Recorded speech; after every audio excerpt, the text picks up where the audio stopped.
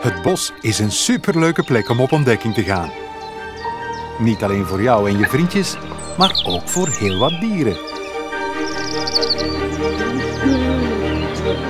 Daar heb je Elise, de speelse eekhoorn. Ze leeft graag in het bos. Ze springt er van boom naar boom graag over de takken.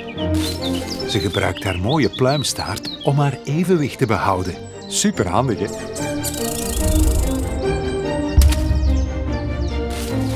Het bos ligt vol met lekker eten voor de dieren, zoals besjes en nootjes. Elise verzamelt zoveel mogelijk nootjes en verstopt die voor later. In de winter is het moeilijk om eten te vinden. Daarom begraaft Elise haar nootjes. Zo kan ze straks toch goed smullen.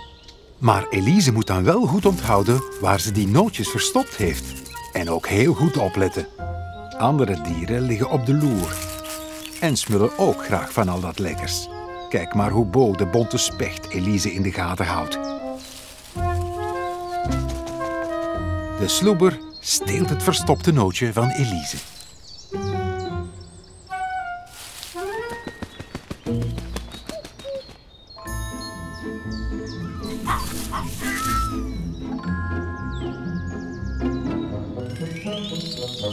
Kennen jullie deze bosbewoner al?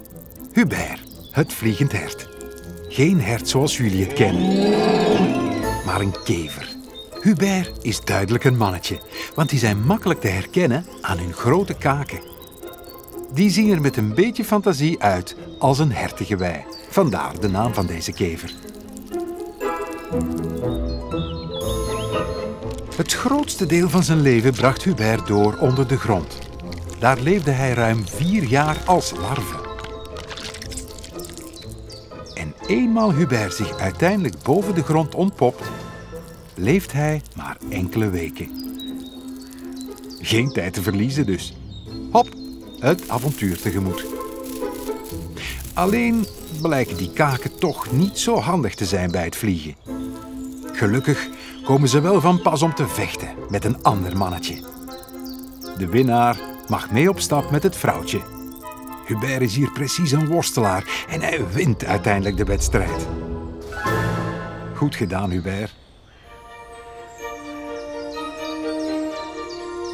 Zijn jullie benieuwd naar meer? Ga tijdens de Week van het Bos samen met Elise, Bo en Hubert op ontdekking met de schatkaart.